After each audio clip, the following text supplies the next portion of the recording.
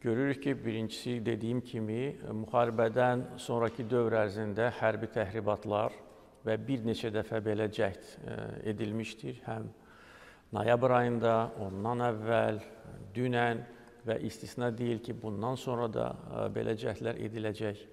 Və təbii ki, Ermənistan e, rəhbərliyi və bütövlükdə cəmiyyəti müharibədəki məğlubiyyətindən hələ ki özünə gələ bilməyib onlara elə bir ciddi psixoloji zərbə vurulub, elə bir psixoloji cəhətdən zədələniblər ki, onların bütün ideoloji əsasları darmadağın edilib. Yəni onların uydurduqları və özləri inandıqları bütün miflər dağıdılıb və onu biz 44 gün ərzində göstərmişik. Biz əslində bu sülh gündəliyini e, onlara təqdim eləmişik və delimitasiya ilə bağlı və əgər o baş tutarsa ondan sonra demarkasiya ilə bağlı çox aydın e, təkliflər irəli sürmüşük. Və bildiyiniz kimi ilkin mərhələdə Ermənistan cavab vermirdi. Nə hə, nə yox deyirdi. E, yəni bu bir də onu göstərir ki, Ermənistan rəhbərliyində gələcəklə bağlı açıq-aydın təsəvvür yoxdur.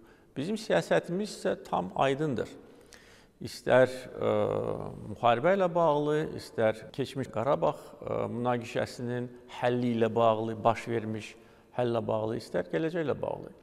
Biz təklif eləmişik ki, hər iki ölkə bir-birinin ərazi bütövlüyünü tanısın, sərhədlərin delimitasiyası ilə bağlı işlərə start verilsin, kommunikasiyanın açılması prosesinə start verilsin və sülh müqaviləsi imzalansın. Yəni sülh müqaviləsinin imzalanması 100% e, qarantiya olmasa da, hər halda böyük dərəcədə müharibə riskini minimuma endirir. Halbuki onu da biz bilməliyik ki, istənilən sülh müqaviləsi Ermənistan üçün sadəcə olaraq kağız parçası ola bilər. İndi imzalansa da, imzalanmasa da biz bax dediyim kimi öz hərbi gücümüzü, qüdrətimizi daim artıracağıq və artırmalıyıq. Ermənistan tərəfi isə tərəddüd edir. Yenə də bu onu göstərir ki, rəsmi dairələr hələ ki bu məsələ ilə bağlı öz fikrini formalaşdıra bilməyiblər. Bir tərəfdən onlar başa düşürlər ki, sülh müqaviləsi olmasa və güclü Azərbaycan deməli mövcud olduğu halda onların müəyyən e, narahatlıq ola bilər. Digər tərəfdən başa düşürlər ki, sülh müqaviləsi imzalanarsa, orada mütləq e, hər iki ölkənin bir-birinin ərazi bütövlüyünün tanınması e, müddəası olmalıdır. Və buna onlar hazır olmalıdırlar. Ona görə bax, bilirsiniz necə deyirlər, iki daş arasında qalıblar, ancaq seçim etməlidirlər. Düzgün seçim etməlidirlər. Və mən demişəm ki, bizim xoş niyyətli e, davranışımız e, şərt deyil ki, əbədi olacaq. Və şərt deyil ki, bu təkliflər əbədi masa üzərində qalacaq.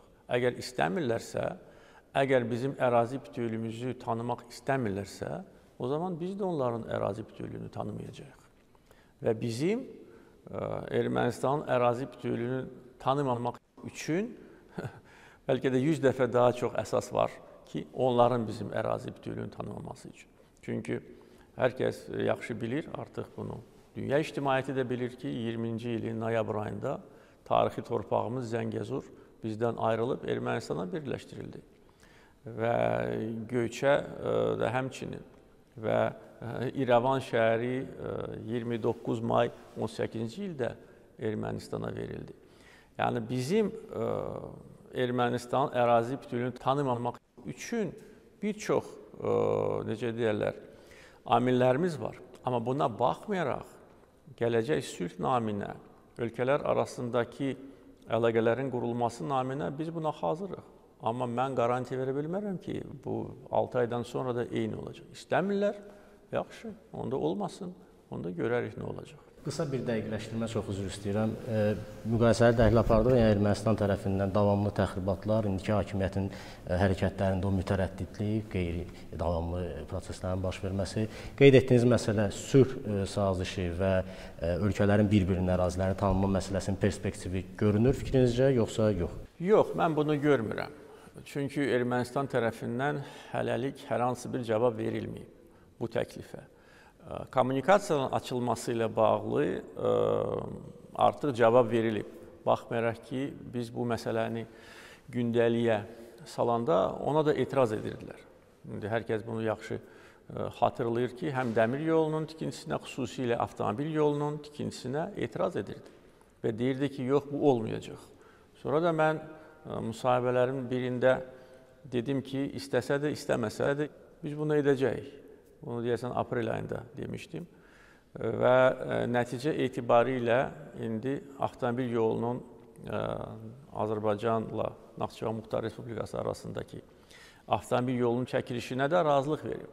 Yəni mən demək istəmirəm ki, biz onları məcbur eləmişik, biz heç bir zor tətbiq etməmişik.